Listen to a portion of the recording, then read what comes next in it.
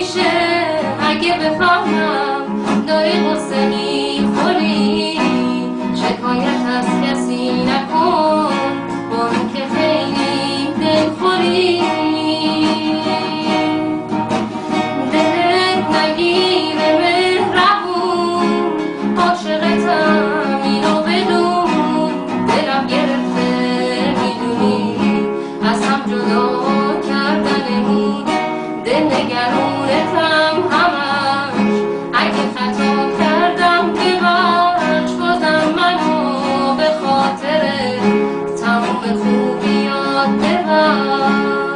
منو ببنش اصلا فراموشم کن و فکر منو نداشتی اینجوری خیلی بهتره بگو منو نخواستی برو بگو تنهایی رو خیلی زیاد دوستش داریم